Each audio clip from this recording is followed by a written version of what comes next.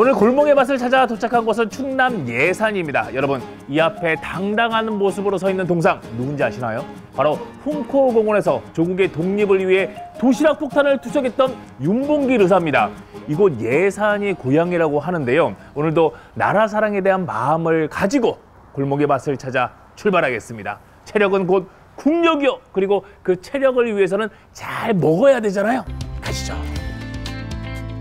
체력 충전을 위해 떠난 예산 나들이 그 기대감에 응답하는 건가요? 주렁주렁 열린 사과들이 저를 반겨줍니다. 예산이 크지 않은 곳이지만 출신 유명인들이 정말 많습니다. 시작할 때 말씀드렸던 애국지사 윤봉길 의사도 그렇고요. 맛과 음식은 빼놓을 수 없는 백종원 씨. 그리고 영화배우 정준호 씨, 또 만수야 했던 최주봉 씨도 예산 출신인데 하지만 농산물 중에서는 역시 이 예산 사과를 빼놓으면 안 되죠. 와. 이 가을이 다가기 전 주민들은 사과를 수확하느라 분주합니다. 안타깝게도 올해 사과 작황이 그리 좋지는 못한데요. 그래도 맛만큼은 최고라고 자부합니다. 안녕하세요. 전국에서 알아주는 예산 사과 자랑 한번 해주세요. 예산 사과가 색깔은 좀 안 좋아도 맛은 저 아래 지방보다 맛은 월등히 나서요. 예.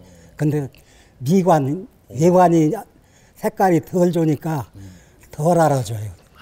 지금 사람들이 우선 모양 이쁘고 깔이 좋아야 먹는데 예산 사과는 맛은 않아요. 그런데 저희가 또 여기서 맛집을 찾아왔거든요. 예. 맛있는 집이 어디 있을까요?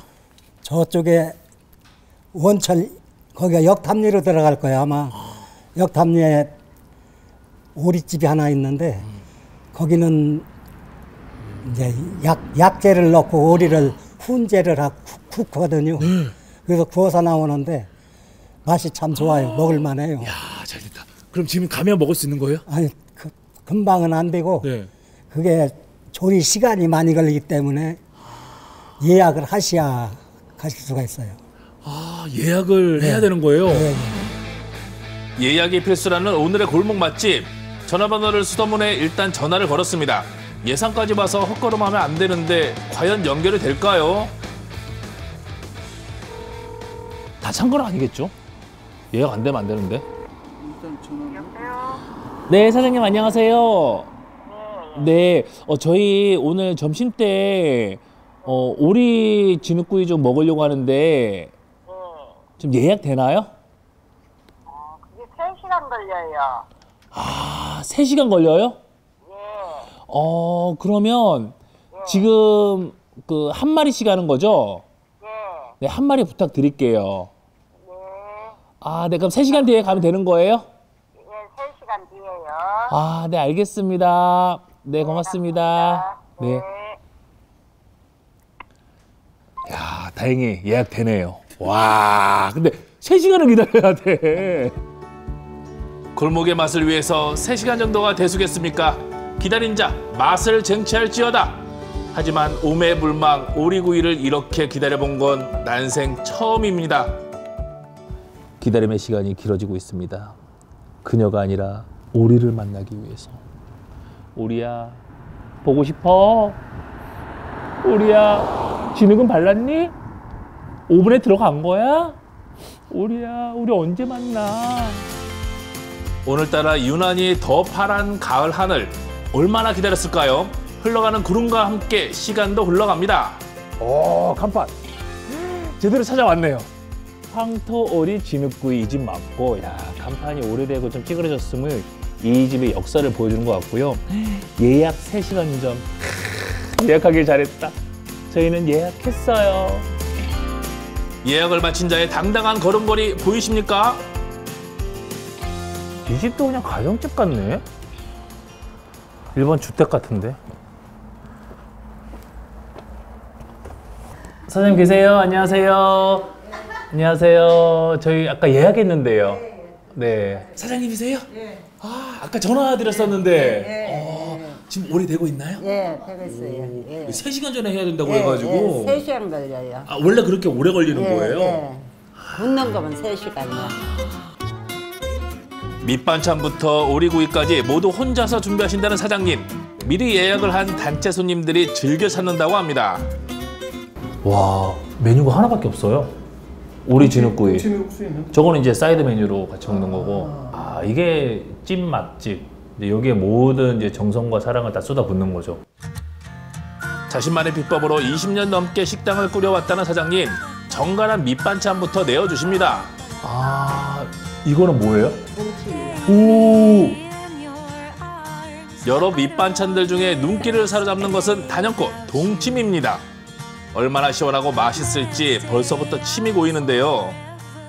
아, 살얼음 동동 동치미 그리고 무도 아, 딱 진짜 담은 무라는 게이 투박하게 딱 깔끔하게 썬 게 아니라 그냥 투박하게 딱 썰어내서 와 동치미 이제 밭에 알타리로만 예, 무수 말고 알타리 총각김치 담는 무수로 봄에 심어가지고 그거로 다 이제 담아놨다가 가을까지 써고 또 가을에 심어서 봄까지 써고 그래요.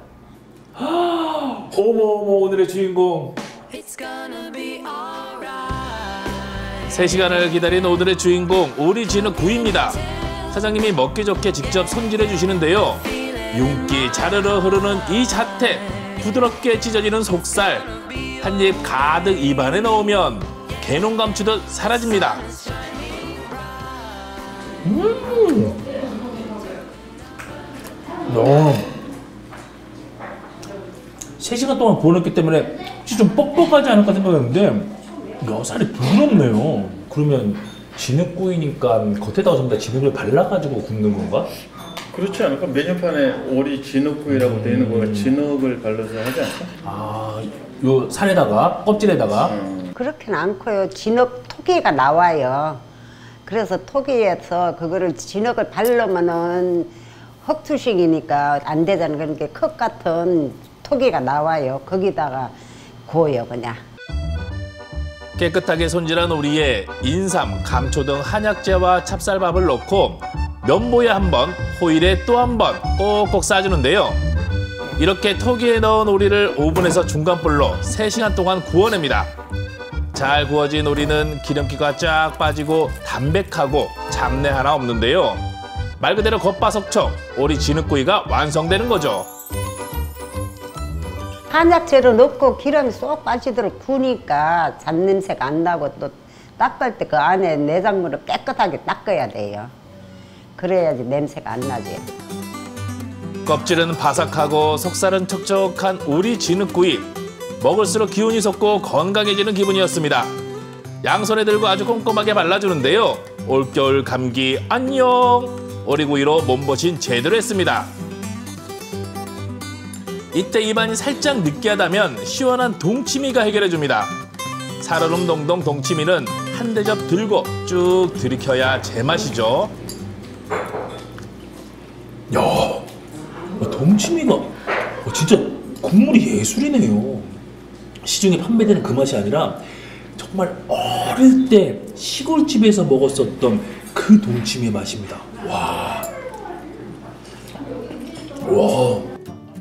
탄성이 절로 나오는 동치미 국물로만 먹기엔 좀 아쉽다고요? 그렇다면 시원한 국물에 소면을 넣은 동치미 국수로 입가심을 해줍니다. 이게 정말 별미 중에 별미더라고요. 묵었던 채증이 한 번에 쑥 내려가는 맛입니다.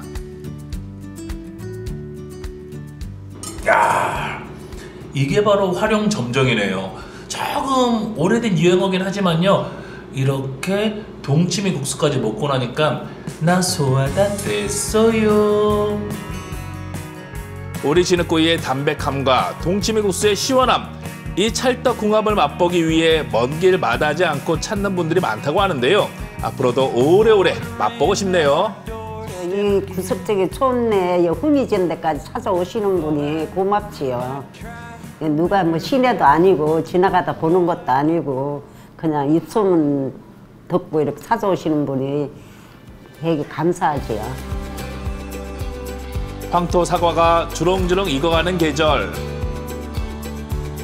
예산의 가을이 우리를 기다리고 있습니다. 3시간 구원의 담백하고 촉촉한 우리 진흙구이.